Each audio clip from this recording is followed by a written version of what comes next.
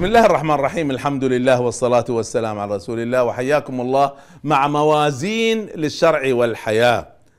هذه قواعد رئيسية. نزن بها الأمور فنتعلم كيف نتصرف وكيف نتخذ المواقف. وميزاننا اليوم اسمه ميزان الإيثار وهو ضمن موازين سميتها موازين العلاقات. الإيثار. أن الإيثار باختصار أن الإنسان يؤثر الآخرين على نفسه ويؤثر أمته على شخصه. فهذه هي خلاصة أمر الإيثار. ويؤثر أخيه على يعني احتياجاته. ويؤثرون على أنفسهم ولو كان بهم خصاصة وهو محتاج مع ذلك يعطي. فلما يصير أزمة في الأمة ولا كارثة ولا كذا يعطي حتى كما يقولون من قوت يومه من أجل الإيثار هذا قاعدة رئيسية. قصة يذكرها ابن حجر رحمه الله تعالى في حدثت في أيام سيدنا عمر بن الخطاب رضي الله عنه.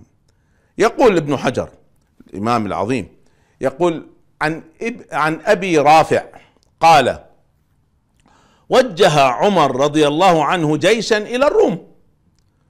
وضمن الجيش كان في صحابي اسمه عبد الله بن حذافة رضي الله عنه. في المواجهة بين المسلمين والروم أسر مجموعة من المسلمين من بينهم عبد الله بن حذافة.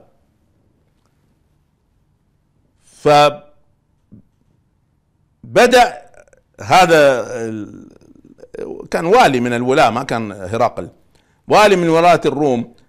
كان بدأ يعذب المسلمين أن يرجعوا عن دينهم رفضوا.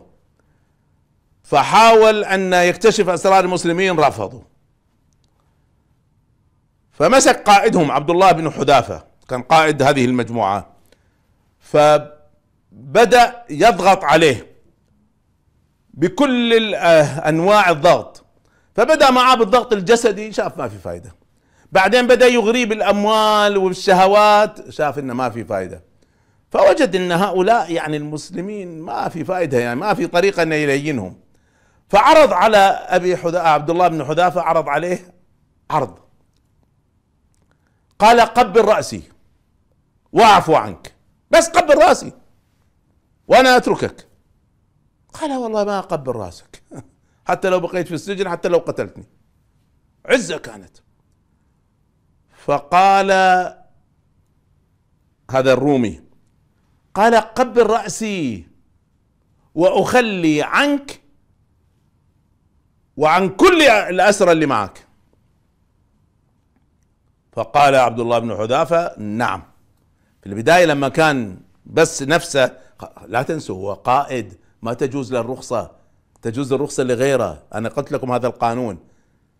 فهو إحنا مطلوب أن ندفع الأذى عن أنفسنا لكن القائد الذي يقتدى به المفروض ما يلين فهو لم يلن. لكن الآن جاءه عرض إن بس يقبل رأس هذا الرومي سيعفو عنا وعن كل الاسرى اللي ما كان مجموعة كبيرة يعني. فقال نعم. فقبل رأسه. فخلى فعلا بينهم وفعلا سمح لهم أن يعودوا. فعادوا. فالآن لما وصلوا المدينة هم مترددين متحرجين. قائدهم قبل رأس كافر رومي. فذهبوا وأخبروا القصة لسيدنا عمر بن الخطاب. يعني هل, هل هذا التصرف جائز؟ فعمر فعل فعلة عجيبة. فقام من مكانه وقبل رأسه قبل رأس عبد الله بن حذافة. ثم قال لكل الحاضرين والله ما يقوم أحد حتى يقبل رأسه. فظلوا كلهم يقبلوا. حتى قال يا أمير المؤمنين يكفي حتى لا يذهب شعري. ف فهذا ميزان من سيدنا عمر رضي الله عنه. وروى ابن كثير رحمه الله عن يزيد قال كنت في القصر مع الحجاج وهو يعرض على الناس ليالي ابن الأشعث. فجاء أنس بن مالك انس بن مالك الصحابي الشهير. فقال له الحجاج هي يا خبيث. يكلم الصحابي ها؟ هكذا كان حجاج جريء. هي يا خبيث جوال في الفتن. مرة مع علي ومرة مع ابن الزبير. ما في فتنة ما اشتركت فيها. ومرة مع ابن الأشعث. أما والذي نفس الحجاج بيده. ابن الأشعث قام بثورة عظيمة فكان أيضا معه. ف وكان من من أكبر العلماء. فقال الحجاج قال أما والذي نفسي بيده لأستأصلنك كما أستأصلن الصمغة كيف تقص الصمغة من الشجرة؟ ولا أجردنك كما تجرد الضب كيف الضب ينزع من جلده؟ فقال أنس رضي الله عنه إياي تعني يا أمير يا أيها الأمير؟ تقصدني أنا؟ فقال الحجاج إياك أعني أصم الله سمعك. يقول أنس يقول الناس فاسترجع أنس إنا لله وإنا إليه راجعون. فلما انشغل الحجاج عنه خرج. يقول فتبعناه إلى الرحبة إلى يعني صحن البيت حوش البيت.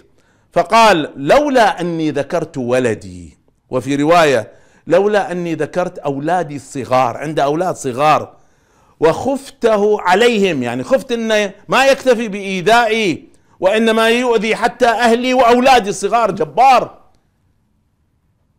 ما باليت أي قتل أقتل؟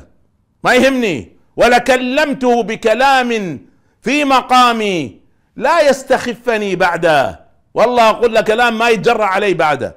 لكن لاحظوا الإيثار. آثرت أن أحفظ أولادي لأنهم صغار وضعاف. فالايثار لاحظوا هو قدوة لكن في هذا الموقف لأن اولاده سيهلكوا بعد ما في أحد يقوم بهم حافظ عليهم والموقف لا يستحق إن الواحد يرد عليه.